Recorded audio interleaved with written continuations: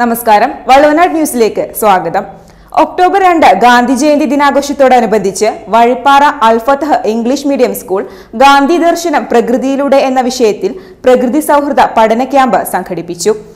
പുത്തരങ്ങാടി മണ്ണുകുളം റോഡിലെ ഇറാൻ നേച്ചറുമായി സഹകരിച്ച് നടത്തിയ പഠന ക്യാമ്പ് വിദ്യാർത്ഥികൾക്ക് ഏറെ കൗതുകമായി.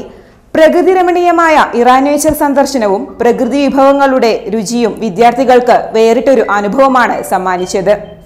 Gandhi ജയന്തിയോടനുബന്ധിച്ച് Vazhippara Alfath English medium school Iran നേച്ചറുമായി സഹകരിച്ചാണ് ഗാന്ധി ദർശനം പ്രകൃതിയിലൂടെ എന്ന വിഷയത്തിൽ പ്രകൃതി സൌഹൃദ പഠന ക്യാമ്പ് സംഘടിപ്പിച്ചത്.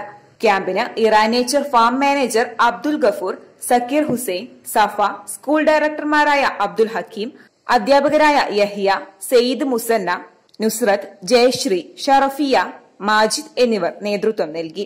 മാലിന്യ സംസ്കരണം ജൈവവള നിർമ്മാണം വിവിധ കൃഷിരീതികളായ poly house green hydrogen farming അടുക്കളക്കുളം അലങ്കാര മത്സ്യകൃഷി അക്വാപോണിക്സ് ഹൈഡ്രോപോണിക്സ് തുടങ്ങിയവയെക്കുറിച്ച് ഇറാനേച്ചർ ട്രെയിനർമാർ വിദ്യാർത്ഥികൾക്ക് പരിശീലനം നൽകി. ഇറാനേച്ചറിന്റെ വിശാലമായ വിവിധ ഫാമുകൾ സന്ദർശിക്കുകയും മത്സ്യക്കുളങ്ങളിൽ നിന്നും പരമ്പരാഗത രീതിയിൽ വലവീശി മത്സ്യം പിടിക്കുന്നതും മറ്റും വിദ്യാർത്ഥികൾക്ക് കാണിച്ചു കൊടുക്കുകയും ചെയ്തു. പ്രകൃതിദത്തമായ ശർക്കര കാപ്പിയും കപ്പ പുഴുങ്ങിയതും മുളക് ചമ്മന്തിയും നൽകി ഇറാനേച്ചർ അധികൃതർ വിദ്യാർത്ഥികൾക്ക് ആതിഥ്യമേകി.